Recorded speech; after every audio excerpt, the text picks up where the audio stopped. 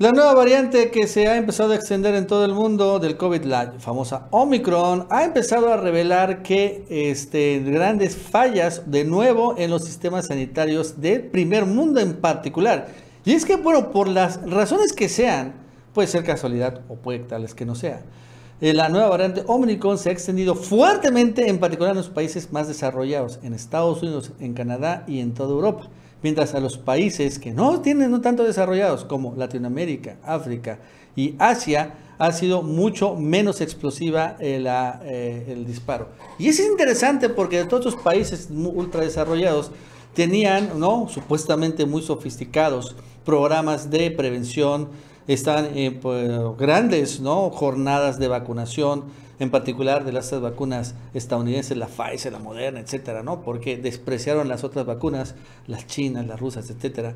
Eh, y también tenían hasta pasaportes para vacunación, habían eh, muchas restricciones, en fin, ¿no? Hicieron las que muchas cosas eh, muy polémicas que incluso generó muchas molestias en su propia ciudadanía. Y ahora sucede que, bueno, la variante Omicron está mucho más extendido ahí.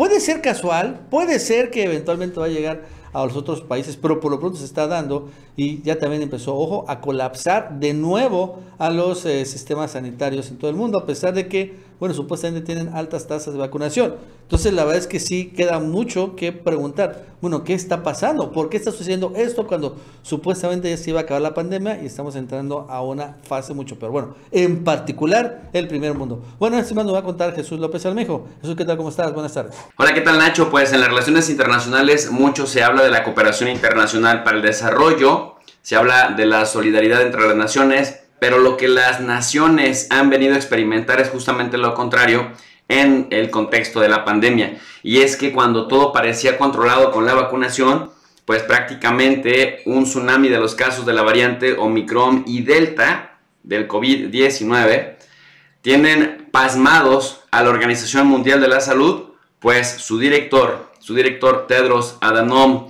Ghebreyesus, en rueda de prensa ha admitido, ha admitido que si no se vacuna a la gente para julio de 2022 hasta en un 70% de la población mundial, prácticamente el virus será resistente contra la vacunación y podremos estar experimentando otras variantes que pongan en riesgo nuevamente el, el reinicio de la pandemia.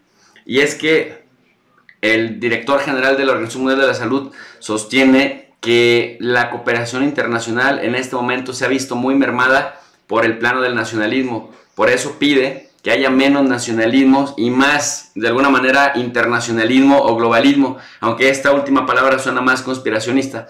El mundo registró eh, un récord de casos de coronavirus en los pasados 7 días, es decir, en la última semana de diciembre, en lo que va del día 22 aproximadamente al 28 de diciembre.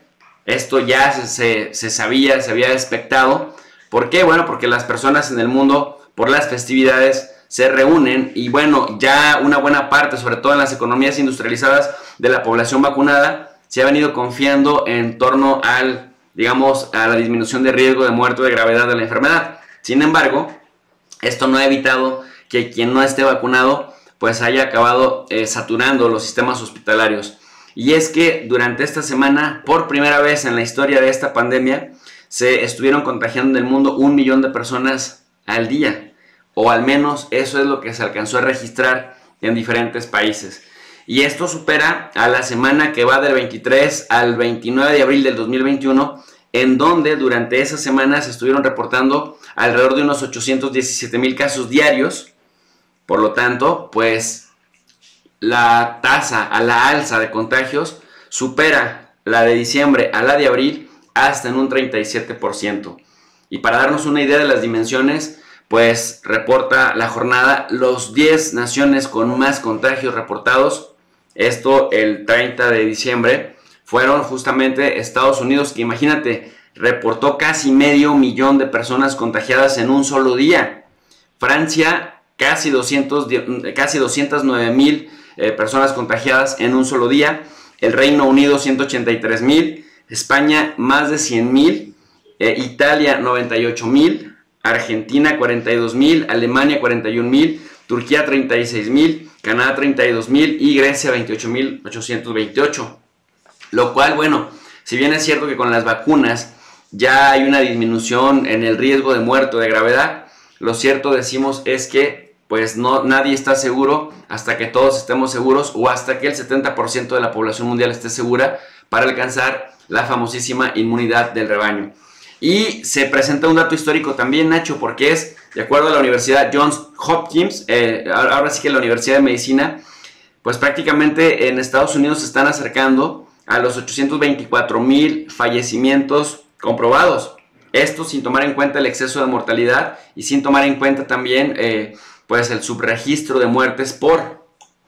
Ahí también tenemos que el segundo país que le, que le viene pisando los callos a Estados Unidos es Brasil, que ya alcanzó también hasta 620 mil muertes oficiales por COVID y la India 480 mil. Es decir, tanto Brasil como Estados Unidos como la India han perdido a más personas por el COVID durante estos dos años que en todas las guerras en donde han participado sus ejércitos.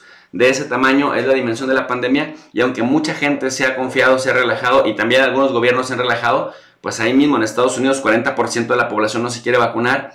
Esto ya se está traduciendo justamente en que muchas de las medidas solamente se convirtieron en paliativas, incluidas las vacunas, por eso se habla incluso del refuerzo, del tercer refuerzo. Incluso en Israel se llegó a plantear la posibilidad de o una cuarta vacuna o dejar que toda la gente se contagie para ver si por ese medio se alcanza la inmunidad del rebaño.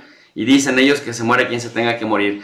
Tenemos que estar pendientes porque no es un tema, no es un tema sencillo, sobre todo en aquellos países que tienen muchas más de 100 millones de personas al, al interior de sus fronteras. Nacho, hasta aquí mi análisis. Para un comentario más extenso les invito al canal de tu profe RI y yo me despido con un cordial saludo para la comunidad del Chapucero USA. Feliz Navidad.